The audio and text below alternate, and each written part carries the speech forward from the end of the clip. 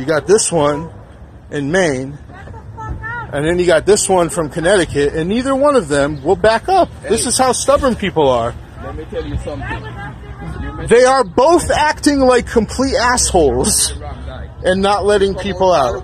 Almost caused an accident a while ago. You have a kid in the car. But you're both doing it. Why don't you back up? Be the bigger person. Why she she's gonna be ignorant.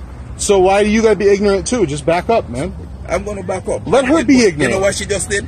You I know. did? I, I hear you, but you, you know guys are keeping did? people from backing out, though, man. Come on.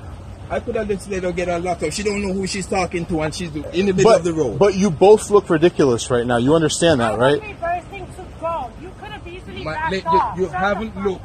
You haven't looked one minute. People of Walmart. That's how you contact This is people of Walmart happening right here in front of me.